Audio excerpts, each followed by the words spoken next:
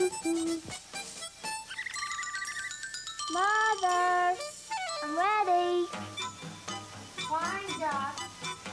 Stay in the house till we're ready to go. I don't want you to get dirty.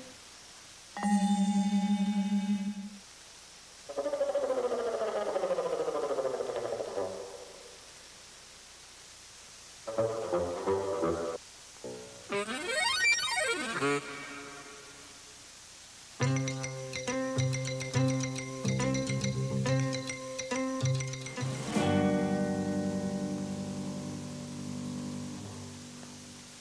Stay in the house till we're ready to go. I don't want you to get dirty.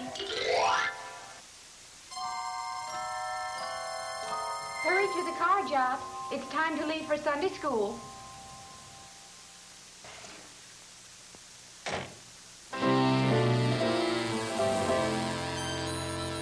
Good morning, Jot. Oh, good morning, Miss Anderson. Why, Jot, do you have a surprise for us this morning? No, ma'am. Oh, your hands are dirty. Is that why you're feeling badly? I didn't do what Mommy said.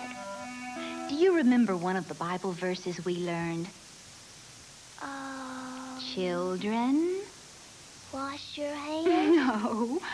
Obey your parents. That's right, Jot. Obey your parents because they love you. Yes, ma'am. From now on, I will.